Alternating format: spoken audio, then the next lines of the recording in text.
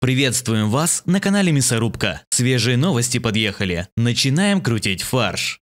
Все-таки пресловутый сумрачный германский гений, судя по всему, действительно имеет место быть. Это никакая не метафора. Немецкий народ таки оказался загадочным и непредсказуемым, но в какой-то момент и его стало разворачивать в правильном направлении, потому что перед этим долгие месяцы казалось, что людям в Германии уже окончательно мозги пропаганды промыли, и вдруг, нате вам, Пошли позитивные новости. Анна Лена Бербак, которую окрестили ни много ни мало, как современная женщина-рыцарь, неожиданно скатилась с почетного четвертого места в рейтинге «Мой любимый политик» на позорное восьмое. И понять сию динамику несложно. Пока Анна Леночка воевала с атомной энергетикой, загрязнением природы, глобальным потеплением и другими веселыми концепциями, ей прощали самые разные чудачества. Как мы уже и сказали, чуден немецкий народ, особенно по зиме. Мерзли, нищали, голодали. Но если все это было надо ради спасения климата, были готовы терпеть.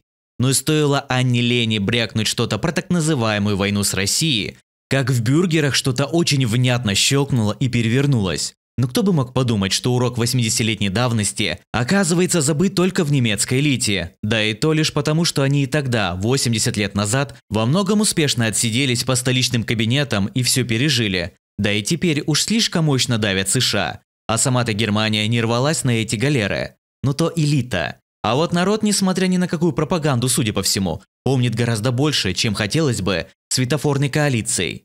В принципе, неприятности эту можно было бы пережить, если бы не петиция за немедленную отставку федерального правительства за злоупотребление служебным положением и причастность к самому крупному преступлению против всего немецкого народа, которую подмахнули на минуточку чуть больше 46 тысяч бюргеров.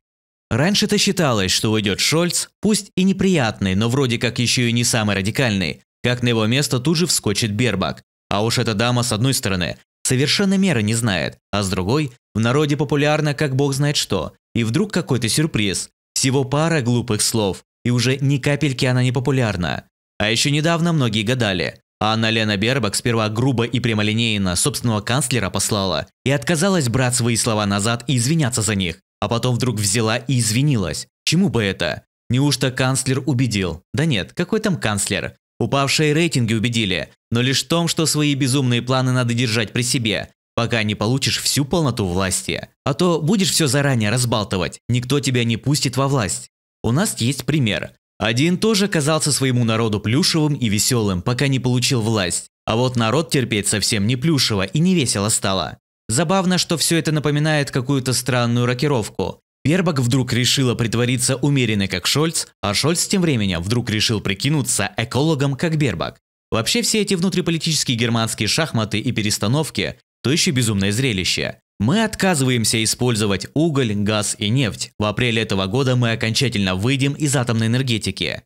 И это не цитата из футуристического романа про светлое будущее, в котором освоили новые планеты и земные ресурсы оказались более не нужны. Это слова канцлера ФРГ Олафа Шольца на партийном съезде социал-демократов в Шлезвиг-Гольштейне. Олаф торжественно клянется перевести все энергоснабжение Германии на энергию солнца, ветра и биомассы. Премьер Баварии Маркус Зёдде уже попросил вернуться с небес на землю. Это чистая идеология, разум отсутствует, нет плана, откуда будет поступать электроэнергия.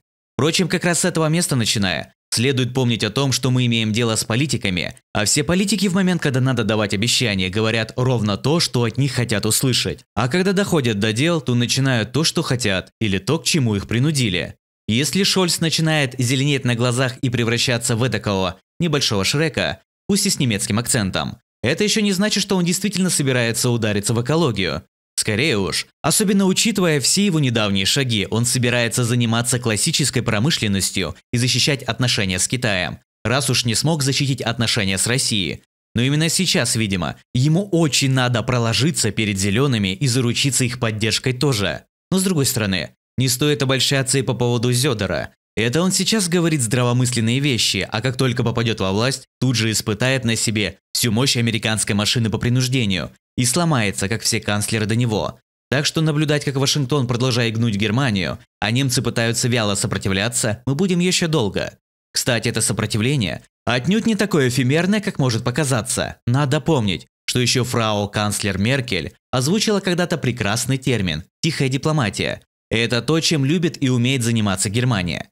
Фактическое положение оккупированной Америки страны не позволяет ей говорить прямо и вслух многие вещи, но выкручивать какие-то свои интересы втихую у них очень даже неплохо получается. Правда, США в последнее время совсем уж стали жестко давить, но немцы быстро адаптируются.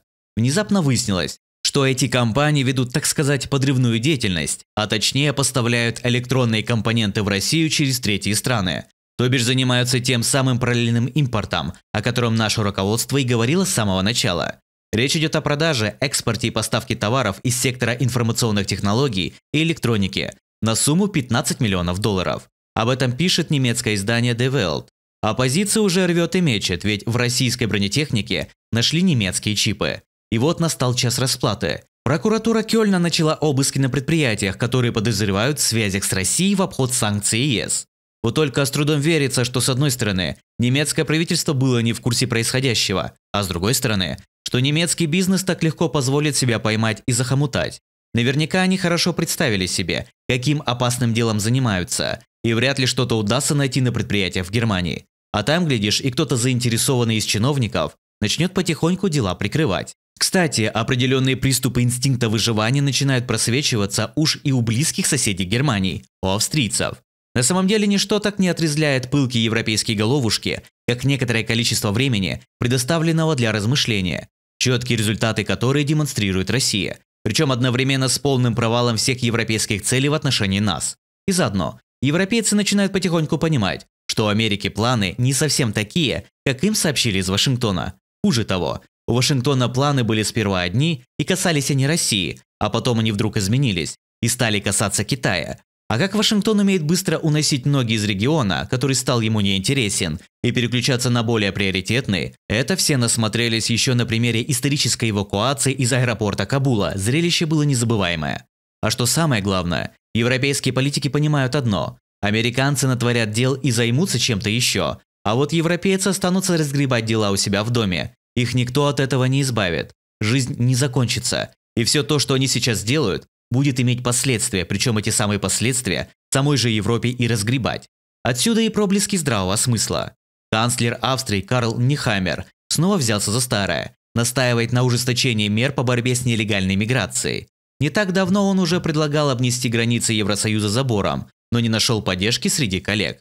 Теперь в дело пошла тяжелая артиллерия. Нихаммер пригрозил заблокировать итоговую декларацию проходящего нынче в Брюсселе саммита не такой уж и дружественной евросемьи, если не увидит в ней конкретных мер вместо пустых слов. И, о чудо, сработало. Европолитики испугались и решили срочно отсыпать денежек из бюджета ЕС на усиление охраны внешних границ.